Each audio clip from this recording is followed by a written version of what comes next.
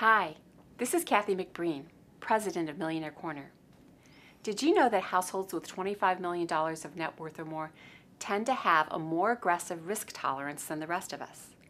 In fact, just over 20% of the 25 million plus households describe themselves as moderate in their risk tolerance, but 36%, more than a third, indicate that they're aggressive or very aggressive. That compares to 20% of mass affluent households who consider themselves as aggressive or very aggressive. 49% of the mass affluent are moderate, and 31% identify themselves as conservative. In contrast, only 11% of the 25 million plus describe themselves as conservative. Should you be aggressive in your risk tolerance? That's a question only you and your financial advisor can answer. The wealthiest households have the ability to lose a greater portion of their assets and to still be okay, unlike the rest of us.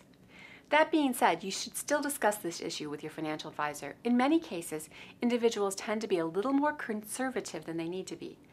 Ask your advisor the impact of making your portfolio slightly more aggressive, but you need to know whether you're comfortable with possibly losing a greater portion of your nest egg. Additionally, you should constantly reassess your risk tolerance in relationship to your age, your job stability, and other, fa- other factors that might be influencing your life. Most wealthy investors want to grow their wealth rather than preserve it. In many cases, they have the luxury of being able to take more risk. They often have higher expectations regarding return. 47% of wealthy investors expect a return of more than 9%. To be honest, that's relatively high. In order to achieve this, they have to invest more aggressively. So decide your own level of risk tolerance and make sure you're informed of the risks of any potential investments. Check out our best advisors to help you make these decisions. This is Kathy McBreen. Thanks for watching.